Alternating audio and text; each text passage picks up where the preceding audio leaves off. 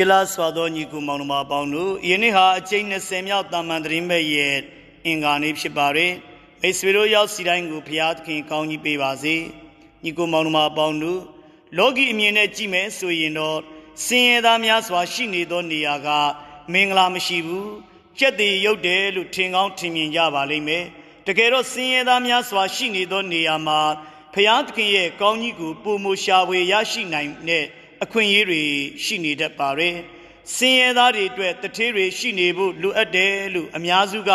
ထင်မြင်သုံးသပ်တတ်ကြပါတယ်။လောကီစာဝတ်နေရေးပြင်လေပြည်လေစေဖို့အထိုက်တဲ့မှန်ပါလိမ့်မယ်။ဒါပေမဲ့ကျွန်တို့အများစုမိနေတတ်ကြတဲ့အရာကတော့တထေးတွေအတွေ့သာ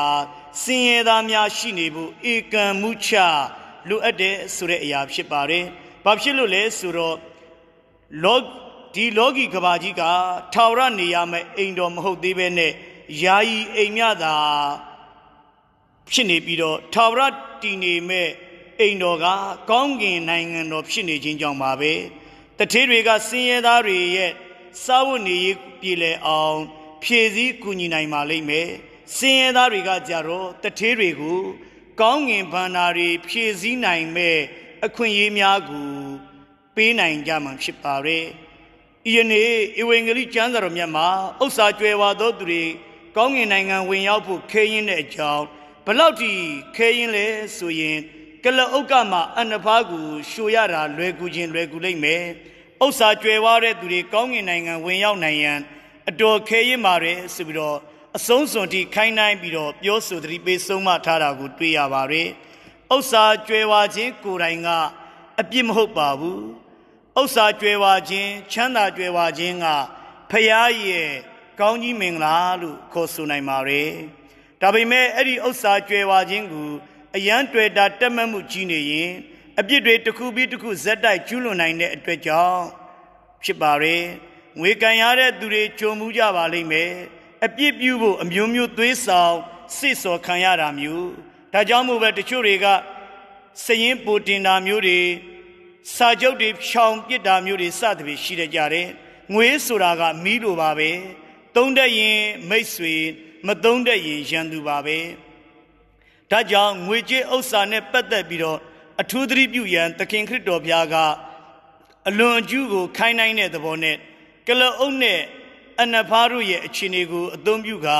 ဟောကြားထားခြင်းဖြစ်ပါရဲ့ညီကိုမောင်နှမပေါင်းတို့ယန္နာဖရန့်စစ် RCC မိန်ကြားခဲ့တယ်လို့ပါပဲ ကျွန်တို့တွေလွတ်လွတ်လပ်လပ်နဲ့ပေးလူပေးစွန့်လိုက်တဲ့အရာကသာလျင်ကျွန်တို့ရဲ့အပိုင်ဖြစ်ပါတယ်တဲ့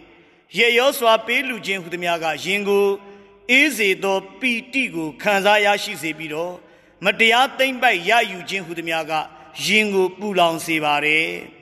မတရားသိမ့်ပိုက်တဲ့ပစ္စည်းပဲဖြစ်ဖြစ်မတရားအာဏာသိမ့်ပိုက်တာပဲဖြစ်ဖြစ်သူတော်ရဲ့သားများကို မတရားသိမ့်ပိုက်တာပဲဖြစ်ဖြစ် ထိုအရာကရင်ကိုပူလောင်စေမှဖြစ်တယ်ဝိညာဉ်အတွက်လည်းလက်ပြမတန့်တယ်လို့မလုံးမချုံခံစားရမှာဧကံမှုချပါပဲ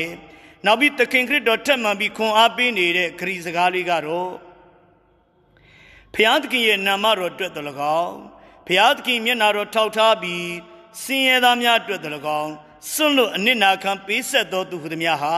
ယခုဘဝမှာအစတရား